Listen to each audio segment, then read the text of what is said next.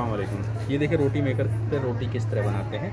आपको दिखाते हैं। ये देखो, ये पहले आपको आटा बनाने का तरीका आता है। ये आटा है। आटे को देखो, थोड़ा सॉफ्ट बनाना है आपको, है ना? आटे को सॉफ्ट बना के, ऐसे आपको बोल बनाना है और बोल बना के देखो यहाँ पर, ये 10 से 15 मिनट के लिए ऐसे आटे के बोल बना के रख देना है। ज़रूरी करना है आपको ये। अगर नहीं करोगे तो रोटी आपकी अच्छी नहीं बनेगी, है ना? ऐसे रखना है। अभी देखो कैसे बनाना है। पेड़े को आपको लेना है। एक बोल उठाया आपने और इधर मशीन के ऊपर लाए। मशीन आपकी गर्म है इस टाइम पर। गर्म है तो आपने कॉर्नर पे रखना नीचे और इसको नीचे करके हैंडल से ऐसे प्रेस कर देना है और इसको एकदम खोल देना है ऐसे। अभी इसको बंद नहीं करना है। अगर बंद करेंगे तो कड़क रोटी हो जाएगी पापड़ की तरह आपकी। ओपन करके रखना है ना? अभी ओपन रखना है। ये देखिए। टेन सेकेंड इसको ऐसे सेकना है आपको यहाँ पर टेन सेकेंड थोड़ा सा रोस्ट हो गया, फिर इसको आपको पलट देना दूसरी साइड से।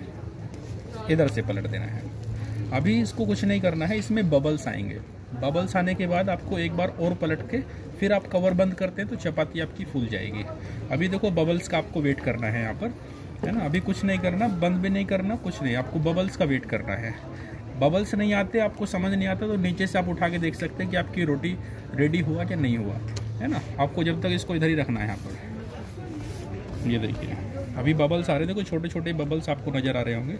ऐसे इसको प्रेस करेंगे तो इसमें बबल्स ज़्यादा आ जाएँगे, बड़े बबल्स आ जाएँगे ना?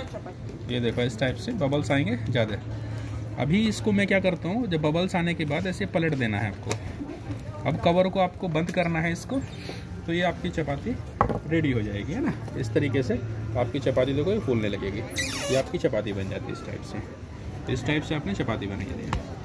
तो इस तरीके से आपको रोटी बनानी है। इस तरीके से आप रोटी बनाएँगे तो आपकी रोटी सॉफ्ट रहेगी और लंबे टाइम तक सॉफ्ट रहेगी। देखो, इधर ये मेरी पुरानी रोटियाँ हैं मैं आपको दिखाता हूँ। सब सॉफ्ट है एकदम, है ना?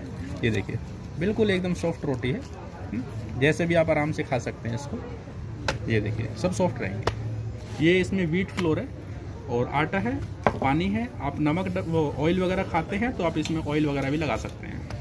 Thank you